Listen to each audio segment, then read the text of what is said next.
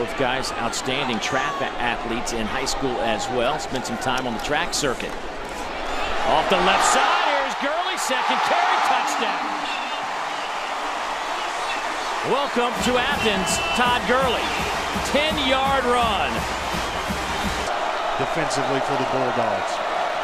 On third down, Zordich has plenty of room. He's to the 20 and slides down at the 16-yard line. Another first down for Buffalo. That's a 19-yard pickup for Alex Zordich. Dave Neal, Andre Ware, Kara Capuano on the opening Saturday here on the SEC Network. Glad you could join us. Todd Gurley will field the kick. The freshman has plenty of running room. Let's see what kind of speed this track star has. He's down to the 30, still on his feet. Gets a couple of blocks. Give it to him. Touchdown. Todd Gurley. 100 yards.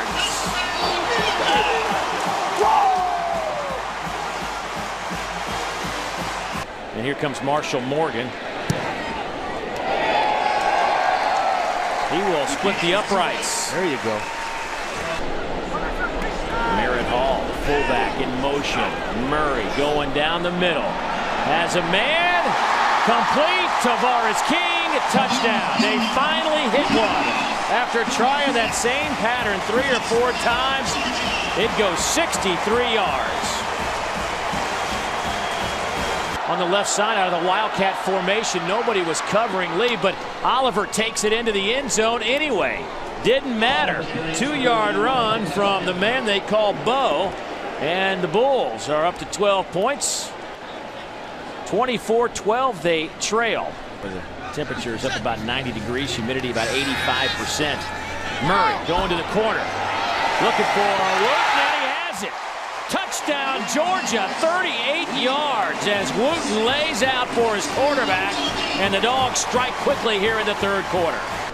Todd Gurley, the tailback on this drive. Gurley misses a block, and his man makes the sack on Aaron Murray, a loss of two.